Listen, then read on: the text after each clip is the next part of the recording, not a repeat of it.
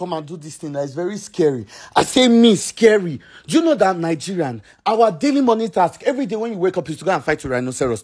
I said bring it on, Joe. You can hold here. Okay. Or you can even leave. I can leave it, Kinku. Yes. Okay. Well, He's ready. I'm the one already. I'm the one that will go. I say, oh yeah, now bring it on. Do you know who I am? Emi any no new bad bitch energy. One and only lip gloss boy. Do you know how many times I've gone to heaven? I've died, come back again, died, come back again. What's the worst that can happen? Oh, I be like, hey, which of you is this one?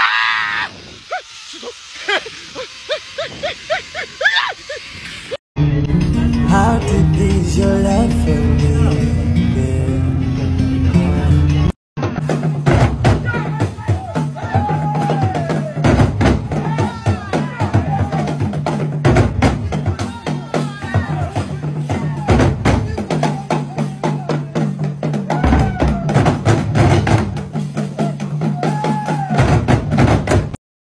For instance, Obote was always on the radio. Oh, Museveni is a Mnyarwanda.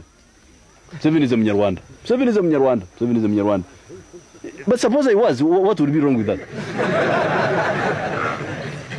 but, but for what he thinks it's such a, that, that, it is damaging, that it is damaging to, to be called a Mnyarwanda. What's wrong with the Mnyarwanda? and is a refugee himself. Why do you think Museveni is all that important in this country? First of all, he's not a citizen. He's not a citizen. You say he's not a citizen. What, what do you mean by that? Because his father was not born in Uganda. And that is the constitutional basis. So he cannot be a citizen. If you came here to talk about Bob Seven, let us stop this uh, interview.